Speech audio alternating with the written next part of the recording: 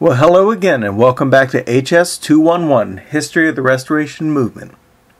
In this module, we will discuss one of the more visible aspects of the Restoration Movement the repudiation or the dismissal of symbols in worship.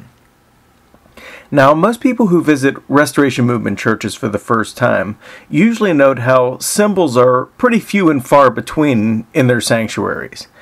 The stained glass windows often have little to no pictures. The crosses in the sanctuary are usually wooden and unadorned. Even the communion tables are usually made from plain wood and look more like a table than an altar, with very little religious Im- imagery on them. And while we could probably focus on half a dozen types of symbols that were conscientiously rejected by the pioneers of the movement, in this particular lecture, we will focus on the theological and historical developments that caused the Restoration movement to avoid the use of vestments and other types of clerical clothing, the kind of clothing that show which people are clergy and mark them as a unique class of people. Indeed, many within the Restoration movement will latch into this idea that every believer is a priest and their dismissal of clerical garb will be a very concrete manifestation of this belief. So, this will be our trend for long durée lectures, but I would like to begin by making an observation about an aspect of life that you probably haven't thought about in a while. And that aspect is this that uniforms are an important part of life. So, try to think about the kinds of occupations that use uniforms Doctors wear lab coats and scrubs. Police and military have specialized uniforms. Even the workers at Walmart wear navy blue shirts and khaki pants to tell them apart from the customers. You see, uniforms are symbols that convey a large amount of information quickly. Depending on the uniform, a casual glance could reveal a person's occupation, such as is this person a flight attendant or a pilot? It could reveal a person's status, such as is this person a regular cook or are they the head chef at a restaurant? It could even communicate that a person has special rights or privileges, such as a police officer has the privilege to place a person under arrest if they suspect them of doing something illegal. Now, for the most part, we have internalized much about uniforms in our culture because we run into people wearing uniforms all the time and we trust that a person in a uniform is able to do a specific job. And we will even defer to them as experts, even if we know nothing about them other than they're wearing the correct uniform that corresponds with the job that needs doing. And it's for this reason that uniforms are tightly regulated, and the more authority accorded to a person in a certain type of uniform, the more likely it is to have legal ramifications for attempting an impersonation. So, for example, in our slide here, we have a uh, comic from a uh, from the internet known as XKCD, and in this comic, this guy in a doctor's uniform says, "Well." It'll be until the second trimester, uh, and the baby hasn't decided which opening it will exit through. The pregnant woman is obviously frightened by this statement and says, What? And the fake doctor goes on to say, Well, we'll hope for one of the lower ones so that it won't be fighting gravity. And the caption on the comic here is, Did you know that you can just buy lab coats? Suggesting that with the correct uniform, a person could do quite a lot of damage because the uniform allows them special access to people and to special access to certain jobs. But what about religious uniforms? The technical term for a uniform that was created for sacred purposes is known as a vestment. It's a word that comes from Latin, from the word vestarius, which means simply to dress. Now, if you come from a Restoration Movement church, this term may be new to you because very few Christian churches use formal vestments. It is usually only in very rural or traditional churches that the choir will wear a formal robe, and even then, they're probably viewed as optional. However, it is worth noting here that most religions use some form of vestment in order to distinguish their ordained clergy from the unordained laity. And the ones that don't often use them uh, basically still expect a certain dress code to be respected. Just to give an example, in my home church, it is expected that I will wear a suit and a necktie every Sunday when I preach, and that I will wear a simple white robe when I perform a baptism. And so, all of this is to say that even churches that have dismissed the idea of vestments still have strong expectations that the people affiliated with their religion will dress in certain ways that reflect well on the congregation. Now, one of the interesting ways that this plays out um, is the way that churches self identify their worship style. Churches that use vestments tend to call themselves liturgical churches, while churches that do not use vestments but still advocate for professional dress tend to call themselves traditional churches. Churches that have a casual dress or even a relaxed dress code uh, for their ministers often go by the designation contemporary churches. So, when a church offers multiple worship styles, or at least multiple worship services, often the minister will change his attire to reflect the expectations of the worship style. Now, as your professor, I feel it is significant that the early advocates of the Restoration movement wholeheartedly rejected vestments, even though most came from churches that had a pretty good opinion of church uniforms in the past. And how this process happened will be the subject of the next few slides. But before we get into the theology of the history of vestments and their repudiation, I want to have you turn a few questions over in your mind first. So, think about these sorts of things as you go through the lecture here. What does your pastor's Christian uniform look like? Is there anything about the way that they dress, either in the pulpit or when they're out in public, that lets you know that they are Christian? Try to brainstorm some possible benefits that wearing a uniform that tells everyone you're a Christian, try to think of how that could be beneficial. Also, try to think of some downsides to this wordless type of communication. How do you think the world would be different if every saved believer wore something that testified to their faith? So process these questions over in your mind a few times as we embark on this whirlwind tour of what the Bible has to say about specialized religious attire. So we'll go ahead and turn your Bible to Exodus chapter 28 and go ahead and read the entire chapter here before we continue go ahead and pause the video for a bit, and we'll resume this discussion once you have read this entire account.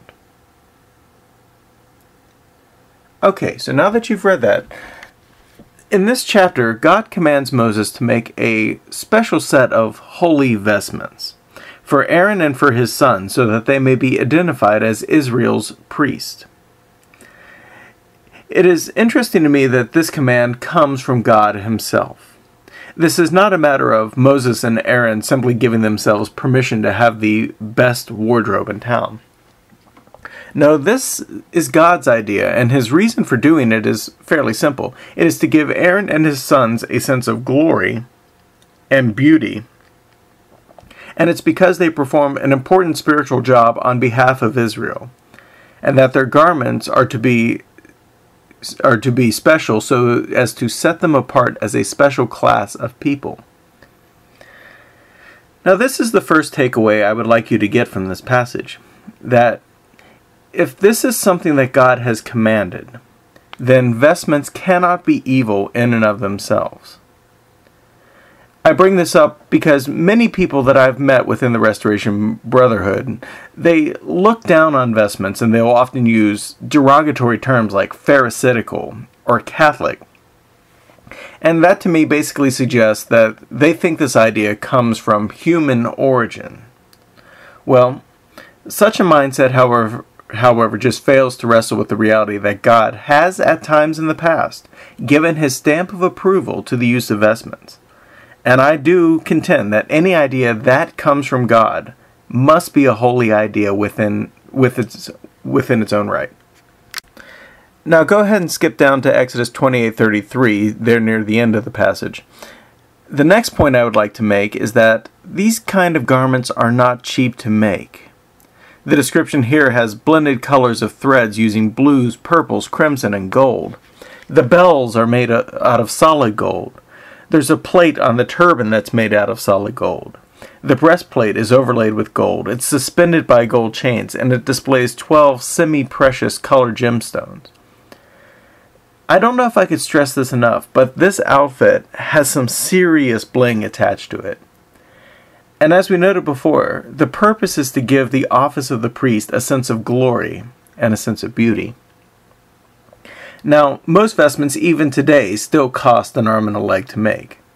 Uh, this monetary sacrifice to make such clothing suggests that religious rituals and an ordained priesthood to perform those rituals are important and worthy of an offering that will cost the people of God greatly.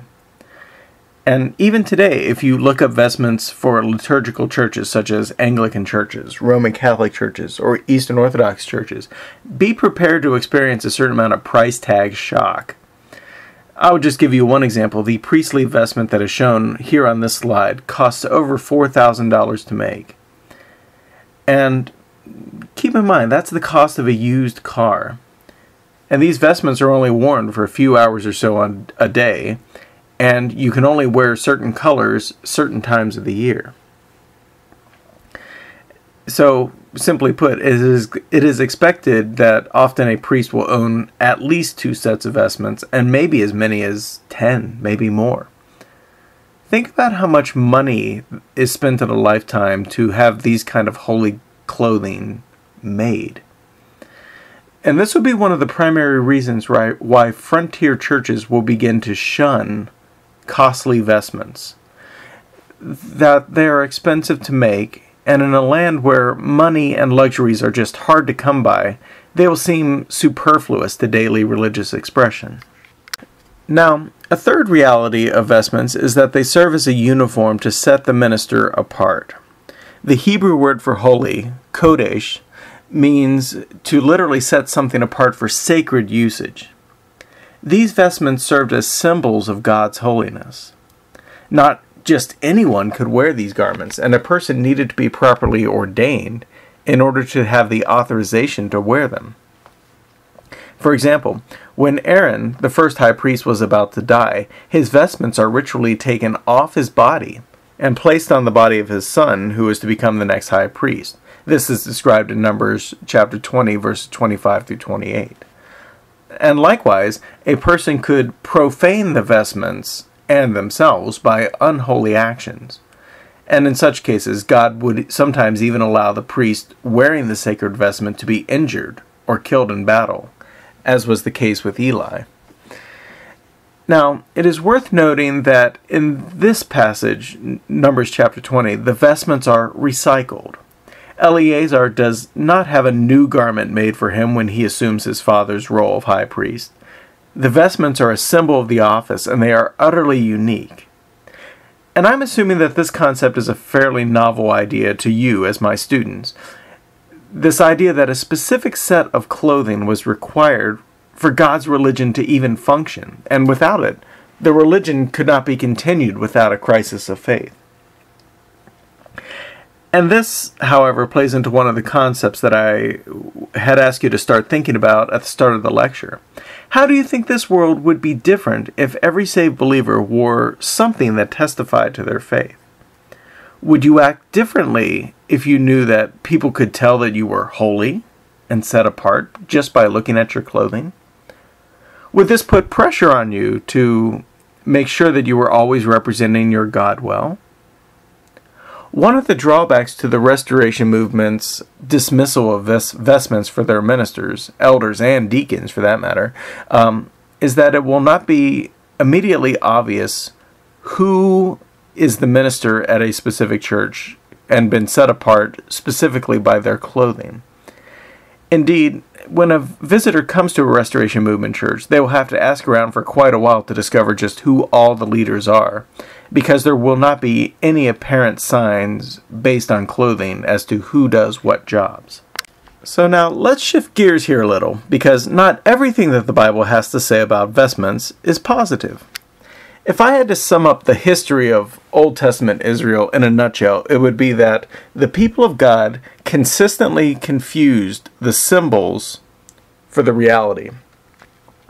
just to give a few examples, Moses is told to create a bronze serpent, and eventually the people start to worship it, and it has to be destroyed during the reign of Josiah. Likewise, the people start to treat the temple of God as this kind of talisman that keeps them from harm. By Jeremiah by Jeremiah's time, he is prophesying the destruction of the temple, that this holy object will not save them. A third example could be also from the time of Jeremiah that people began to think of the Ark of the Covenant as offering divine protection. Jeremiah 3:16, God promises to remove it from Israel's presence. And I would like to point out that the same thing can be said for vestments. God gave the people stipulations on how to make these holy articles of clothing, things like the breastplate or the ephod. But one of the first references we have to things like the ephod outside of Exodus is when Gideon made one, and the people began to worship it. And the moral of this story is that vestments, like any symbol, even if it came directly from God, can be abused if a person's heart is not right with God. When this happens, the abuse usually sh- takes the shape of treating the symbol like it is God instead of worshiping the God that the symbol is pointing towards. So now, when we get to the New Testament, we have absolute silence on the issue of Christian dress for the purposes of worship. Sure, we have admonitions that a Christian is to dress themselves modestly, but this is very different than having a prescription that vestments are required for worship to happen, eh, certainly like we see in the Old Testament. Simply put, the New Testament lacks the equivalent of a book of Leviticus. And this will encourage both strict and loose constructual readings of the Bible when it comes to formulating Christian worship. In strict constructions, this lack of any statements about vestments will be taken as a prohibition. And this will by and large be the majority position of frontier churches in general, and it will certainly be the position of Restoration Movement churches in particular. Interestingly, however, it has been the historical position of the church to choose to adopt a very loose construction hermeneutic of the scriptural passages, and that the evidence for this can be seen that virtually any church, Catholic, Protestant, Orthodox, even heretical churches in between the years 300 and 1550 AD will use some form of vestment. So, with this in mind, let's look at a couple New Testament passages. Go ahead and pause for a second and read Hebrews 4 14 through 16. Okay. Now that you've got that, the New Testament still affirms that the high priestly office is in effect, but instead of being the sole duty of Aaron and his sons, the Levitical priesthood, this privilege of high priest has now been commuted to Jesus of Nazareth.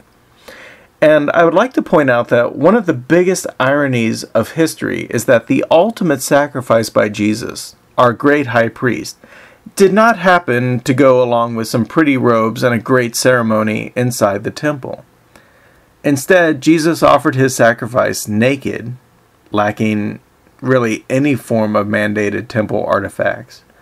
And some Protestants, like for example Huldrych Zwingli and John Hooper, they will latch onto this idea when they begin their Reformation. If Jesus did not require vestments for his sacrifice to be valid, then who are we to say that we need them today? And finally, there's this last New Testament idea I want us to discuss, and that's found in the second chapter of Peter's first epistle. Go ahead and take time to read uh, 2 Peter 2 5 through 10. All right, now that you've got that, one of the chief doctrines advocated by the reformer Martin Luther and most Protestants will follow this notion, is that all Christians everywhere, all believers, constitute a royal priesthood. Now, this idea has taken many forms in the 500 years since Luther first articulated it. For example, the term priest has all but vanished from evangelical Christianity. Another example the Sunday morning worship service is no longer seen as a sacrifice. But possibly one of the more subtle appropriations of this idea was the dismissal of formal vestments. After all, the purpose of a vestment is to make people stand out. They are meant to be a uniform that attributes a unique status to individual believers. But once the doctrine of the priesthood of all believers became the norm for evangelical Christianity, this idea of specialized clothing for the clergy also fell into disfavor. All of this points us in a particular direction that the New Testament does not condemn the use of vestments. But the silence of the New Testament on the issue still must be dealt with. After all, people will wear something when they come to worship. So, the question of proper attire will always culturally be with us.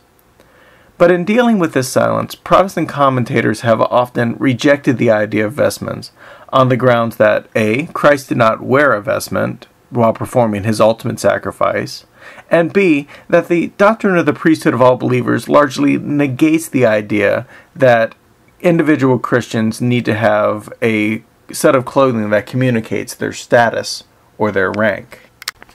So let's shift gears here again and discuss a couple of the physical issues that have arisen concerning vestments basically since the era of the New Testament.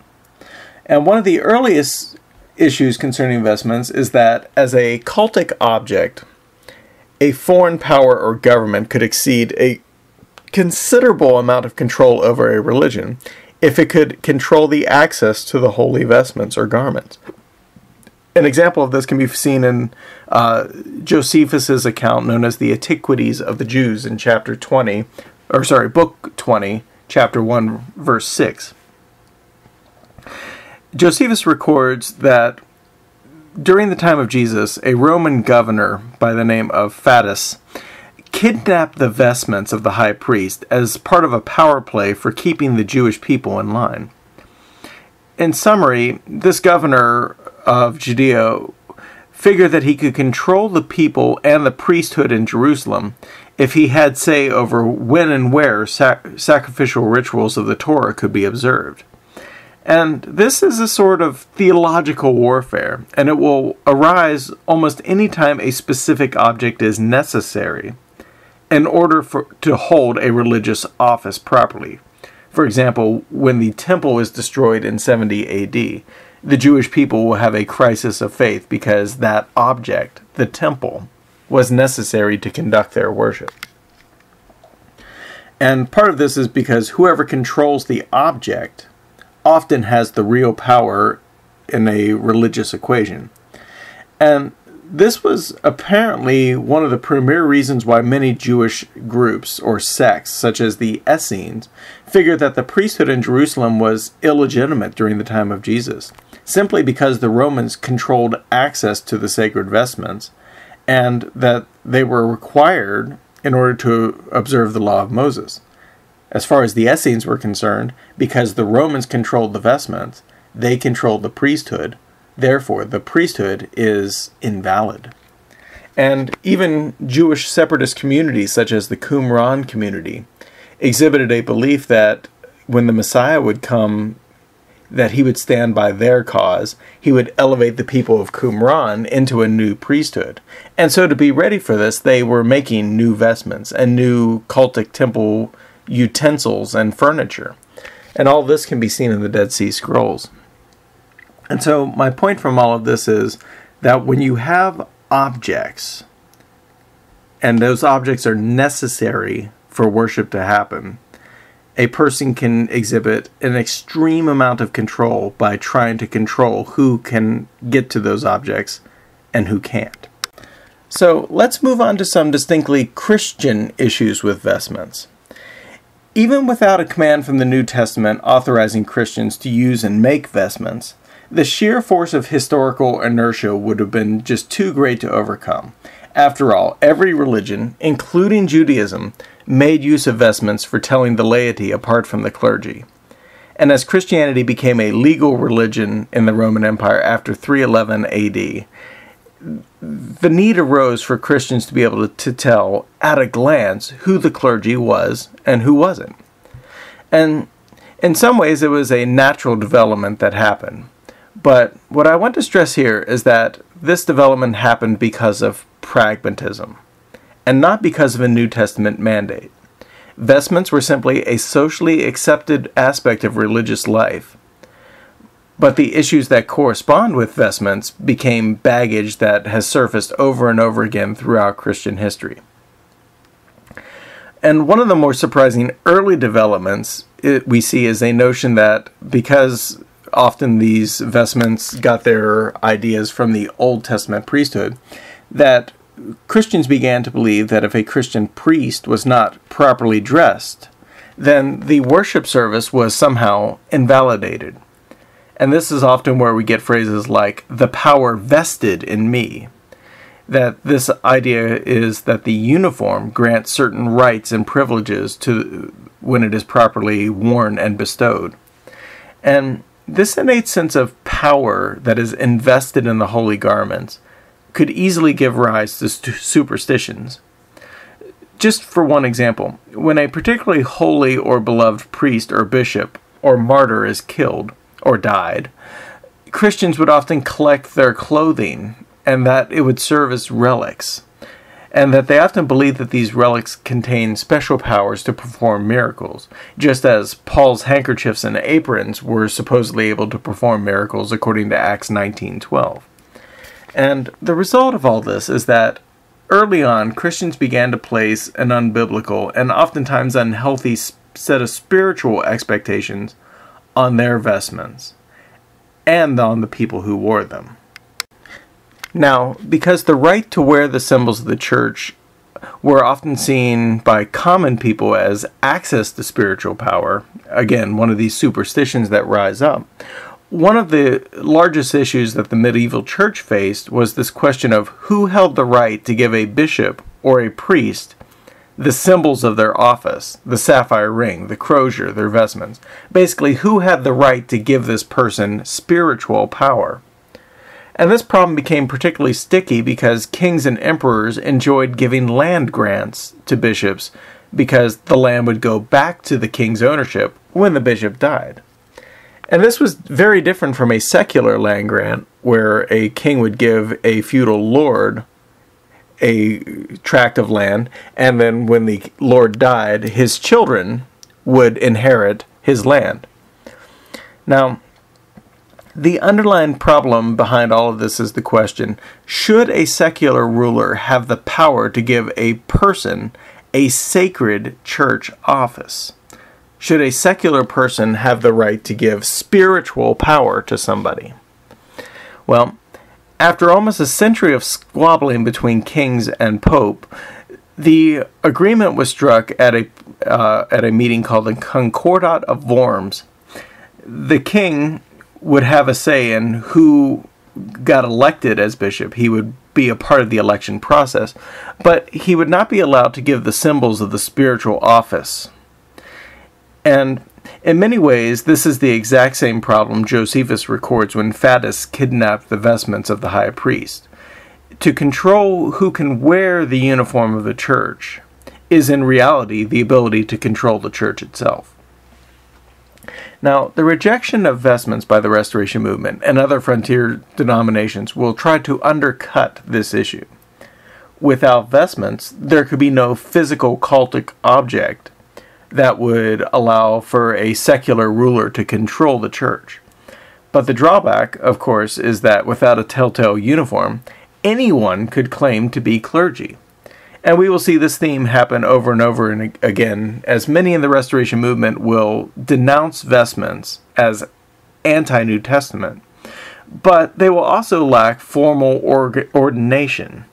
Basically, they will say, I don't need a uniform to be clergy, but mainly because the types of churches giving out uniforms and ordaining as clergy won't have anything to do with them.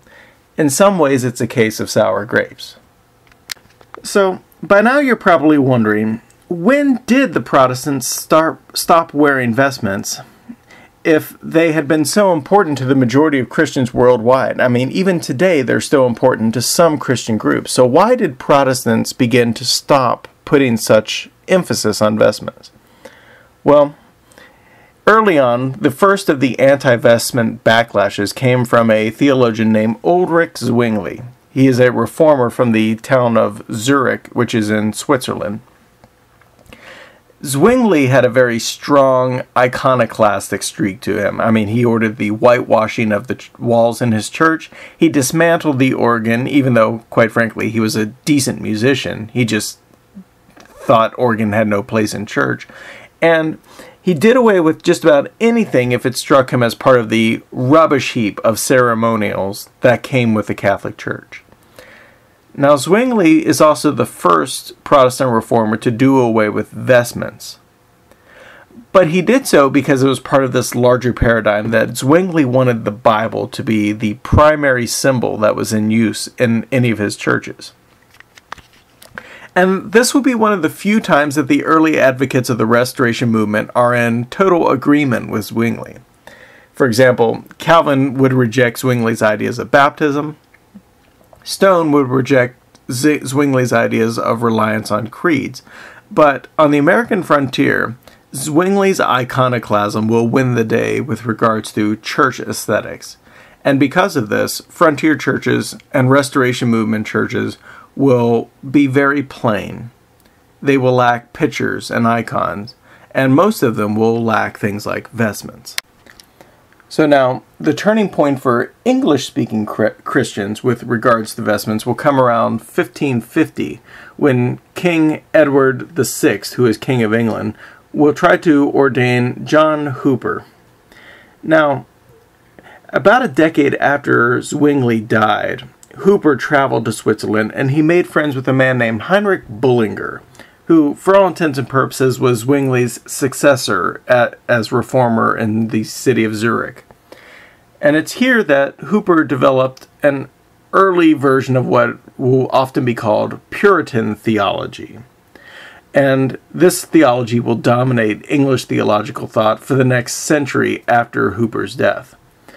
But by 1550, Hooper had moved back to England. He was highly influenced by Zwingli and Bullinger's ideas. And after this, he is offered to take the office of bishop of a city called Gloucester. Now, when he's made the offer to become bishop, Hooper will explicitly refuse to wear the vestments that are customary for bishops at his ordination. And this de- decision landed him in some pretty hot water, and eventually it landed him even in prison for a short amount of time. So, take a look at these two pictures in the slide, and let's examine what Hooper exactly refused to do. The picture on the left, we see a bishop dressed in a full set of vestments. Notice the hat. The technical term for this hat is called a mitre, and it symbolizes exactly what it looks like. It's a crown. In Roman Catholicism, a bishop is known as a prince of the church. Now look at the staff that is in the left hand there.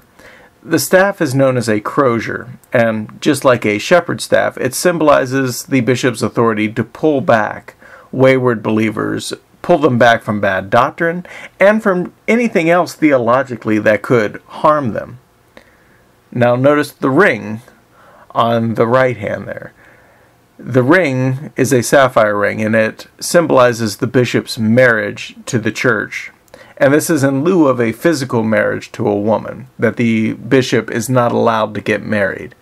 His wedding has already happened, and it was to the church. And notice how every one of these symbols is in some way, shape, or form a declaration of power. It says, This bishop has been given authority.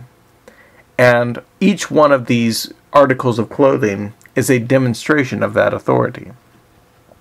Now, Hooper's refusal to wear the traditional vestments is a blatant challenge to existing power structures, both to Roman Catholic power structures and even to Protestant or early Protestant Anglican power structures.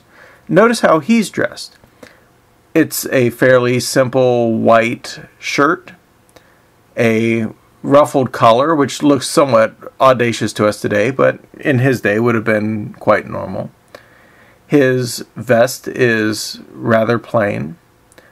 And notice what's in his hand a Bible. In this picture, one of the sources that Hooper is saying my authority comes from is the scriptures. Notice he's pointing to the Bible with one hand and holding it upright with the other. For Hooper, he doesn't need a crown, a ring, or a crozier to tell people where his authority comes from. In many ways, he simply points to the book and says, This is where my authority comes from, not in how I'm dressed.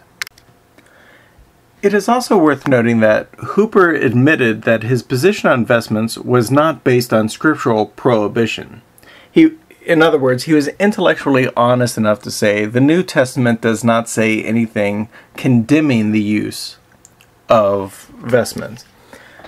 And so, in this regard, Hooper actually asserted that vestments are an indifferent matter. They are neither good nor bad in and of themselves. But Hooper's primary objection was that tradition could be dangerous, and that he did not want to set a bad precedent. Now, historian David Steinmetz describes it this way in his book Reformers in the Wings quote, Hooper's refusal to wear vestments or to be consecrated in the normal way quickly inflated to a cause celebre. Hooper and those later Puritan divines who shared his convictions were thoroughly convinced that what was not commanded in Scripture ought not to be instituted in the church. Hooper did not deny the outright category of adiaphora or indifferent matters, but he astutely observed that things regarded by one generation as indifferent are quickly hallowed by time and usage and regarded by the next generation as things essential. In short, Hooper feared that if you set a standard in one generation, it will become essential to the next. And he didn't want to run that risk. And this paradigm will be crucial for understanding many of the theological positions of the first generation um, advocates of the Restoration movement. These people will have a very deep mistrust in tradition and they will have this mistrust because it offered a competing source of authority to the scriptures themselves. Now, ironically, a problem will develop that the example of many of these first generation restoration movement advocates will eventually become a tradition in and of itself. And we will see this over and over again that there is a tension between scripture and human innovation and nearly every theological debate within the Restoration movement, pretty much from its beginning up until the present, will center around this problem of reading the scripture and specifically responding to human need and the human drive to go and innovate religiously. Now, I want to introduce you to a technical term here before we close, and that technical term is that the refusal to adhere to church tradition and to specifically rely solely on the New Testament is called New Testament liturgicism. What this means is that all of our liturgical ideas, whether it be how we worship, what songs we sing, what types of rite or ritual we do, are all focused on New Testament example or New Testament precedent. And such a practice brings up a very interesting question. How can the New Testament be considered scripture, the kind of scripture that is useful for teaching, rebuking, correcting, and training in righteousness, when it is so conveniently ignored for establishing church worship practices? Now, this development will, will reach its maturity around 1816, when Alexander Campbell will deliver his famous Sermon on the Law and this sermon will virtually strip the Old Testament of any authority to set a precedent for Christians today. So, as we conclude this lecture, let's foreshadow how this state of affairs will play itself out between the years 1800 and 1900 within the Restoration movement.